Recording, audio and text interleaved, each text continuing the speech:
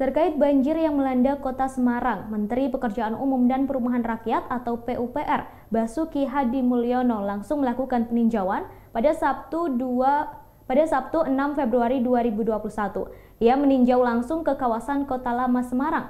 Basuki mengatakan siklus hujan dengan intensitas tinggi yang menerjang Semarang adalah siklus yang terjadi 50 tahunan.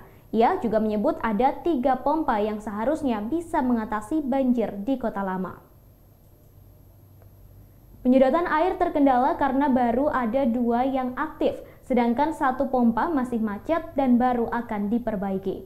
Banjir di kota Semarang terjadi akibat luapan di sungai yang masuk wilayah Balai Besar wilayah Sungai Pemali Juana, yaitu Kali Beringin, Mangkang, dan Kali Plumbon Kaligawe.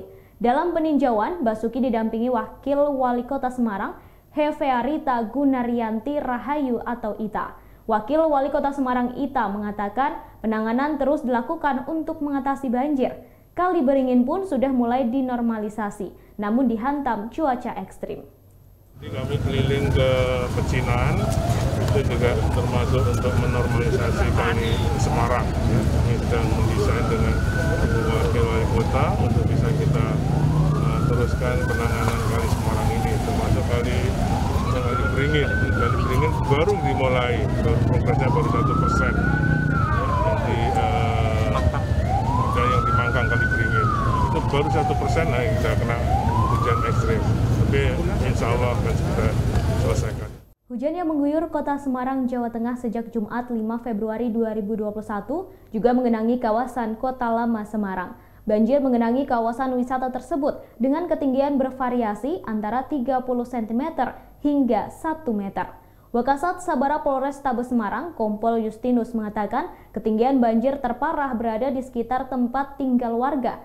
Akibatnya kendaraan bermotor tidak bisa melintasi kawasan wisata itu. Sejumlah pengendara yang nekat melintas di kawasan itu banyak yang terjebak dan harus menuntun kendaraan mereka.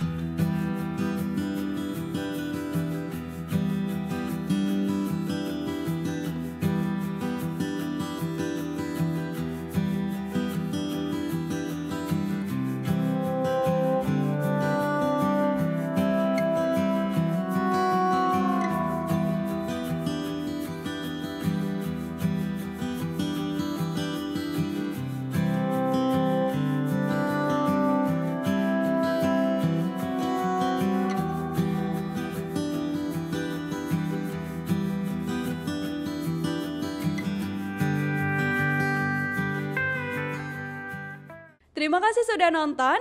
Jangan lupa like, subscribe, dan share ya.